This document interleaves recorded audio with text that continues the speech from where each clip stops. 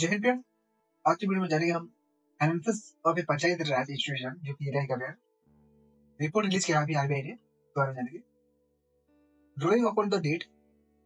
2.58 lakh panchayat for the year 2020 से 21 to 2022 23 it present and assignment of a PI finance panchayati raj institution का finance survey की observation क्या देखिए friends limited the own revenue sources. Panchayat own source of revenue are limited main interest property tax होता है उनका fees रहता है five around देखिए 95 परसेंट जो रहता है दे आर उनका revenue take from the grant for the higher level of government interstate variation in devolution some interstate variation in devolution of the powers and function to panchayat the state having the higher devolution level of exhibiting better socio economic outcomes निकालने वहाँ पे जैसा कि health हो गया education हो गया etcetera inconsistency in data जैसा कि assessing the physical health of PRI is difficult इसलिए due to inconsistent data on their finances challenges क्या देंगे जो local tax revenue generation for PRI के लिए, ये लिमिटेड करता है tax based administrative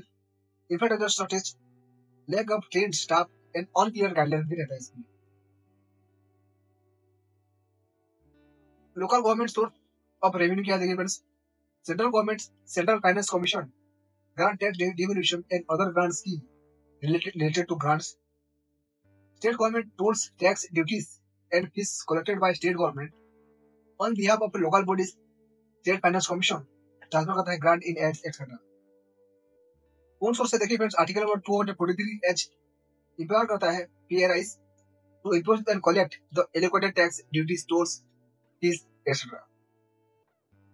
देखिए बेस्ट पंचायती राज इंस्टीट्यूशन के बारे में जान लेते हैं। ये कॉन्स्टिट्यूशनल मैंडेट है।